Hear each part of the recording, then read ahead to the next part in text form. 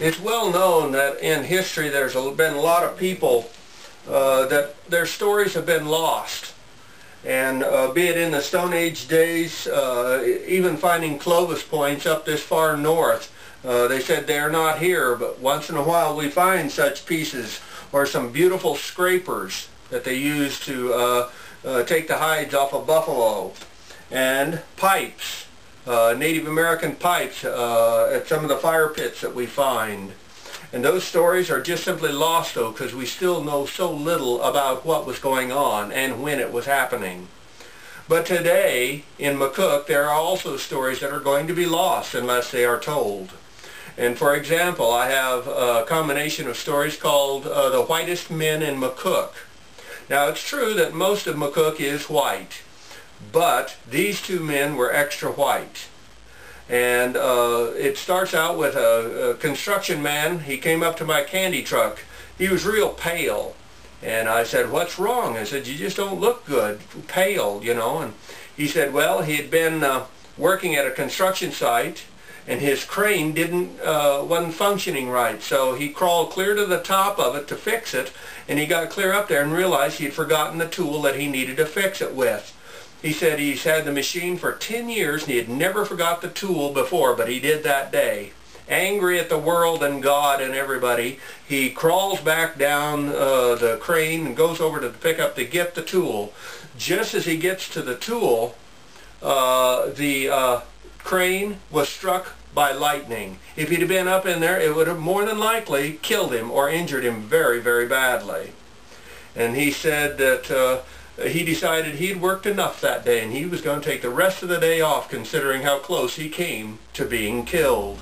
And that was my first white man story, extra white if you will. The second one was uh, a longtime uh, acquaintance of mine here in McCook. He drove the Frito-Lay truck. And he come pulling up and he said, I'm taking a break. He said, uh, give me something cold. And he was pale and I said, Dear God, are you okay? And he said, well, he said, I just about killed some kids. And he was on B Street, he said, driving along. And he said, uh, the buildings come right up to the edge of B Street almost, really dangerous. And the alleys that go up there are shoot right into B Street. Well, he said a bicycle comes shooting out of one of the alleys right across B Street, right in front of him and he said, dear God, he locked on the brakes and burning rubber to get stopped.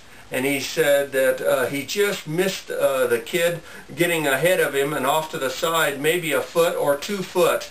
And he said just as he was slamming on the brakes he said here came the next kid that was going to hit inside. So he jumped off the brake and punched it even though he said and that kid was locking on the brakes and sliding his uh, bicycle.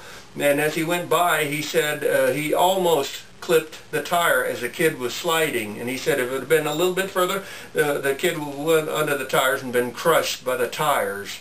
And he, he was just uh, he was just shaking yet and, and petrified from it. And uh, he was extra white.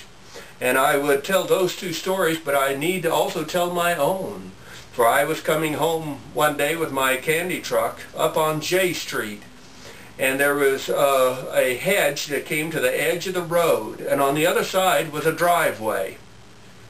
As I was driving along 20 miles an hour or so, I never push it with the candy truck because it's loaded, and uh, I'm, at the end of the day, I just want to get home. It's no big deal.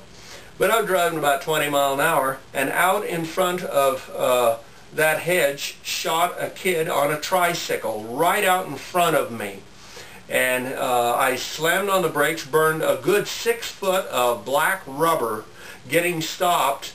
And as I got stopped, as I was on my snub-nosed van, candy van, you know, and I looked over the front of it as I'm uh, over the steering wheel, uh, and I could not see the kid. He was that close to my candy truck. And I hadn't heard the thump, but I thought my mind may not have allowed me to hear it. And I'm, I'm just shaking. I, oh my God, no, please. And that kid then rode out around into the uh, traffic uh, coming the other direction, and they had to lock on brakes, and then back up into his driveway. And I'm just sitting there shaking. And uh, uh there was a cop down the street, luckily, that saw the whole thing. And uh, he pulled up there then, and I had uh, juices, my snow cone juices in gallon jugs, six of them, and all six had broke loose from their, their holding spots and it hit my front windshield. It was that violent of a throw up to them. And uh, the uh, just coated candy and snow cone juices busted and juice sprayed everywhere.